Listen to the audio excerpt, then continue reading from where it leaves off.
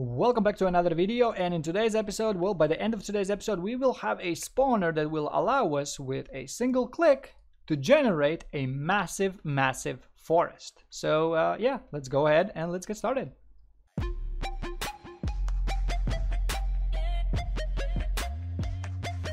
So I'm going to be starting this off in just an empty level. Uh, all I have is a landscape with a bunch of foliage generated from the material. If you want to see that, go down to the description box. There is going to be a link to a playlist with all kinds of foliage related videos. So for this thing that we are going to create in this video, for this to work, what we need to do is we need to first go to the edit and we got to go to the editor preferences and we need to enable a setting. So just look for a foliage and it's going to give you a procedural foliage. So enable this and you're good to go. So now that you have done that, uh, what is going to be available to you is by right clicking in the content browser, you will have in the foliage section, you will have a procedural foliage spawner. So go ahead, create that, and let's call this, uh, let's call this PFS, procedural foliage spawner uh, forest. Like the name doesn't matter, you can make as many of these as you like, but for this video, I'm just gonna be using just one. Obviously, you can create multiple of these. So when we are in here, we have just a very little amount of settings. We can change the grid size uh, so it's going to create us like a grid across the level. And then uh, over here we can change the size of it. We can change the seed. So that's basically how uh, random the trees are getting spawned or any other actors that we might want to spawn so this is not too important but obviously you can scale up the grid size the tile sizes and then if you if you see that your chunks are like very blocky then you can up these values to make them bigger and that effect will go away a little bit more also changing the random seed is going to help to randomize the tree positions as well by default these are the default values. We're going to stick with those for now. So we need to add a bunch of foliage types. So we can click add and it's going to require us to use a foliage type. By default in this project, I don't have any of those. So what I'm going to do is right click foliage and I'm going to create a static mesh foliage. Let's call this, uh, let's call this F. So for foliage, um, tree one. Okay, let's open this up. And if you ever worked with the Unreal Engine's uh, foliage tool, a lot of these settings are going to be very familiar to you and you're going to feel pretty much like at home already. So the first thing that we need is to provide an actual mesh. So I'm going to go to the Stylized Forest Assets Pack, which was free for uh, this month. So you can still grab it if you're watching this today, but it's going to go away in a couple of days. So uh, go grab it real quick if you want it. So tree, I'm selecting the tree and plugging that into here. There we go. So I have the tree over here. Now we can change a bunch of settings over here. We can uh, align to normals. We can uh, randomize the yaw. So that's like the rotation of it. We can change the uh, slopes in which they can grow, in which they can't. So if it's above 45 degrees, it's not going to be growing there uh, mobility static that's good. Uh, we can set the cool distance. Uh, we probably want to set this up to something. So let's say we want this to start cooling at let's say like 2000 and it's gonna go away in like 10,000 perhaps. Uh, maybe those should be a little bit bigger but that's okay. So they're gonna cast shadow. Um, they're gonna have collision so we want to block all to actually have a collision in there and what else we can do. In the growth we can change the scale of it so how big they actually get. So from one to three in this case obviously we can bump this up to maybe like five to have more variety. Uh, we have the clustering.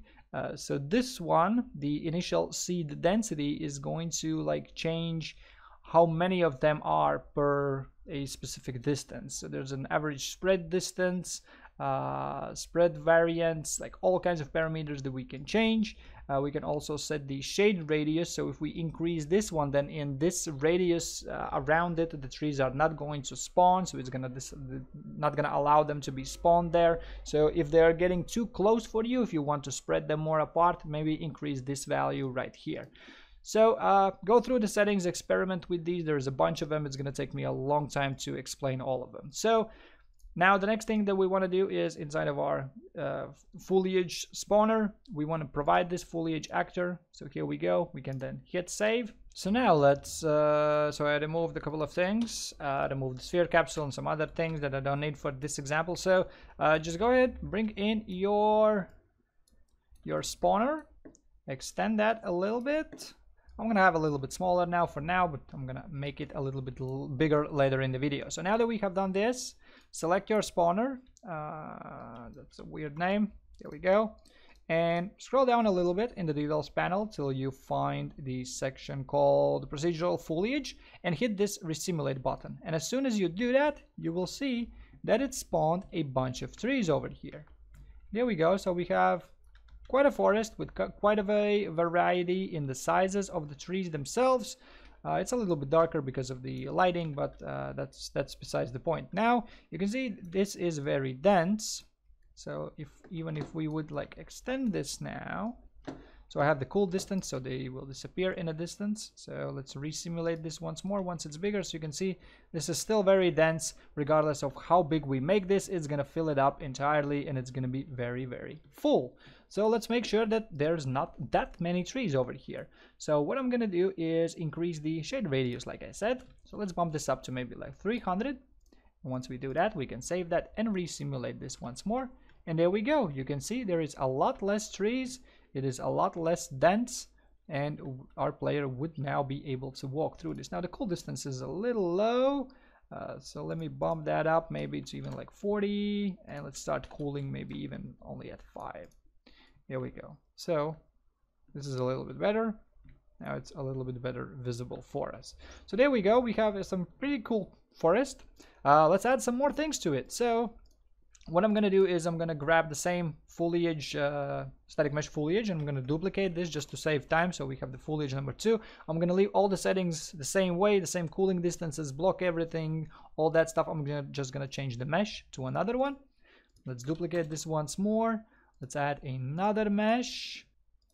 There we go. So I guess I've used all of them. So now let's go ahead and let's open up our uh, fully spawner, foliage spawner. Let's add a bunch of these entries and let's add a bunch of more trees. So three, four, five, six, seven. Hit save and let's resimulate this once more. And there we go. Now you can see we have a huge variety of all kinds of different trees inside of our level. We have this fallen down one.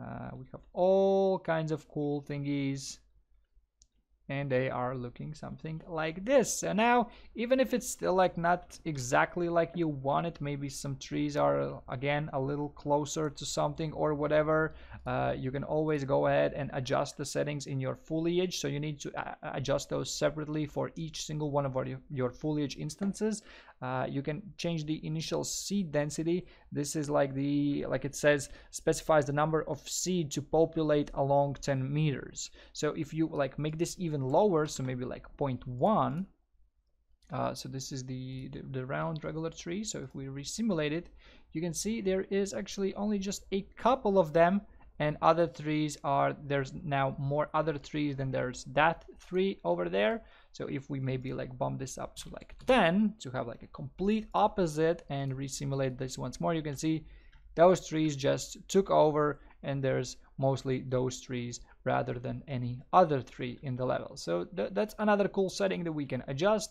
Obviously keeping these all at one will make sure that there's a uh, like an even spread between different foliage types.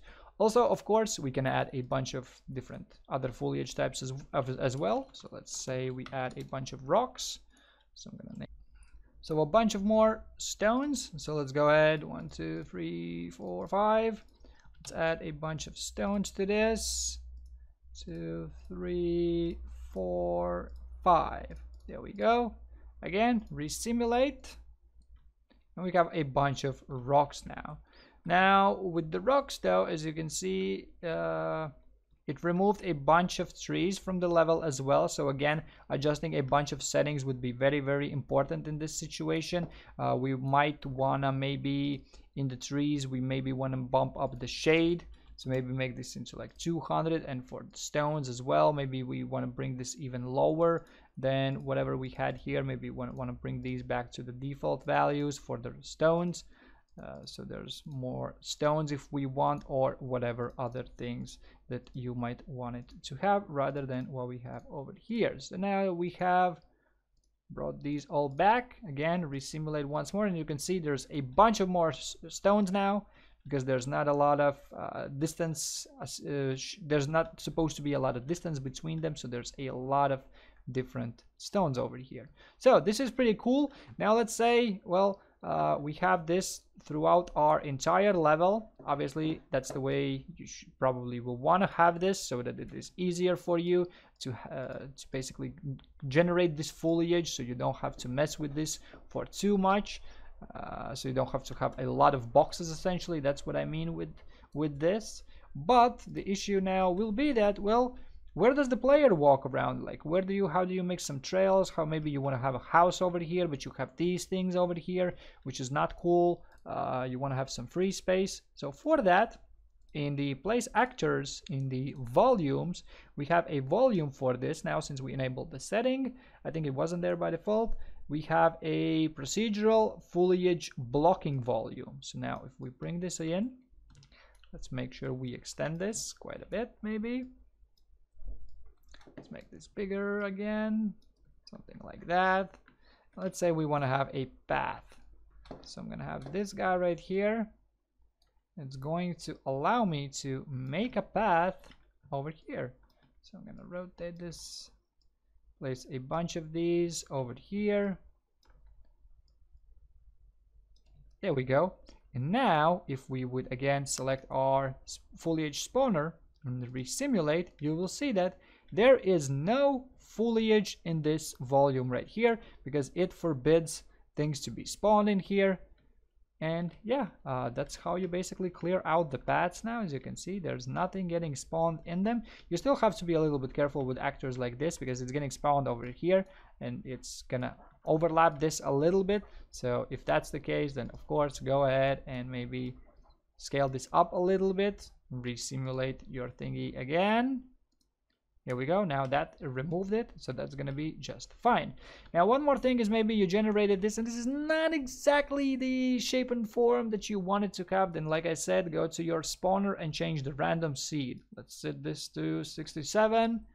Resimulate. As you can see, the trees and everything got spawned quite a bit differently. So again, let's do that one once more.